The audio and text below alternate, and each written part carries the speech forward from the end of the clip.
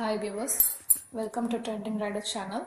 In this video, we are going to see British English, American English, an important one mark question in 10th, 11th and 12th standard English public exam.